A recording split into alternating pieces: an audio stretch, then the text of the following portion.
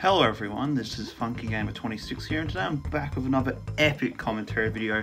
Sort of just like a quick one, uh, sort of like a small lead up to my last commentary video, but not really. But today I'm going to be going in depth about why the Gen 6 GTS is very different to the Gen 7 GTS. So today's video, I'm really going to be talking about both the Gen 6 and Gen 7 GTS. Specifically, I want to talk about their traits, um, what makes them different as well, um, I'm also going to talk about obviously the flaws of the Gen 7 GTS. It's practically the reason why I haven't done Gen 7 for so long, but I'm going to go over it in this video. So, probably one of the more bigger questions I might get asked, I haven't seen in a while, but I used to get it a fair bit, was why do you do your trades on X and Y and ORAS, probably compared to like Sun and Moon or even Pokemon Home or something like that? So my real reason why I do Gen 6 compared to all the other ones is because Gen 6 GTS has a lot less problems than Gen 7, which I'll talk about when I get to the Gen 7 part. But essentially, the Gen 6 GTS for me, it still has a lot of people who can access it, and it also means people can transfer the Pokemon up to high generations if they have pay subscriptions to Home or Bank or whatever, and they can get it to the new games, and they can still enjoy those Pokemon.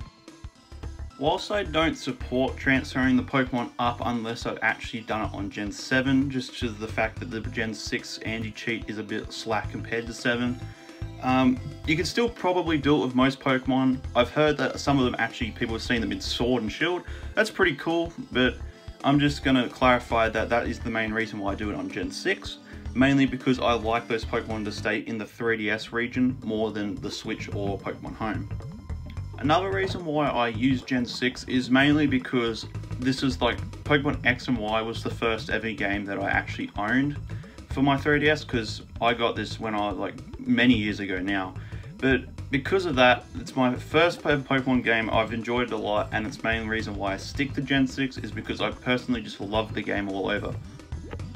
Now, moving on now, because I've practically talked about everything with the Gen 6 GTS giveaway that I like, I'm going to talk about the Gen 7 one. Gen 7 is a dumpster fire of a fucking, of a like system.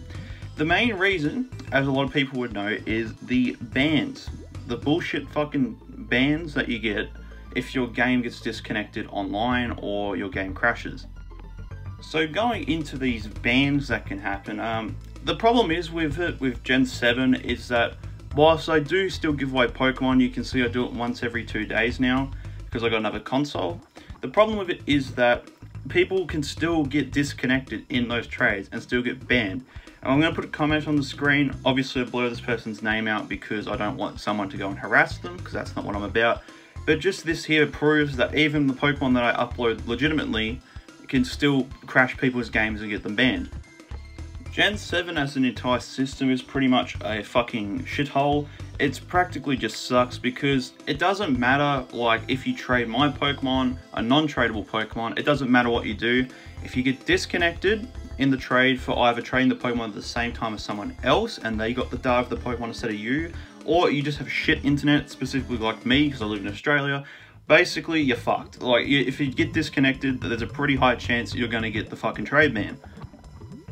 And another thing I want to talk about specifically about Gen 7 that isn't a problem on Gen 6 is the trade crash. Now, there's obviously the one where you trade a non-tradable and it fucks your game, but I'm talking about this baked one. This baked one, I'm going to put um, some video footage on here on my hack console and on a non-hacked one. It basically, what happens is, when you look at someone's profile image, once it loads, it will always crash your fucking game.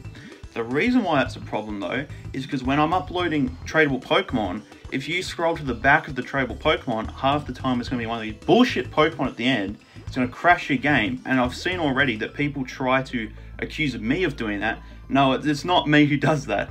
There's Pokemon at the end of the list. So my recommendation is if you're trading my Pokemon on Gen 7, do not scroll to the back of the Pokemon. Please, I beg you, do not scroll to the back.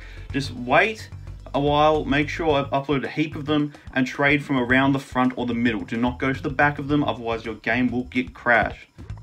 So basically, in conclusion, the main reason why I do Gen 6 compared to 7 more often is frankly because Gen 6 somehow in some way is better and it's less fucked than Gen 7. Gen 7 has clearly more problems. You can get banned. You can game can just get crashed by viewing someone's fucking profile picture. Um, it also brings a lot of problems, obviously, to my channel because people think I did this on purpose to troll them or think it's funny. Well, I don't, but obviously, if someone who's never seen my channel goes to that Pokemon and they get crashed, obviously they're going to think I did it. So it's a bit of a problem. I'm still going to do Gen 7. I just wanted to make this video to inform everyone that yes, there is a couple problems with the Gen 7 GTS compared to Gen 6. Anyway, that's it for now. Make sure to like, comment, and subscribe, and I'll catch you all later.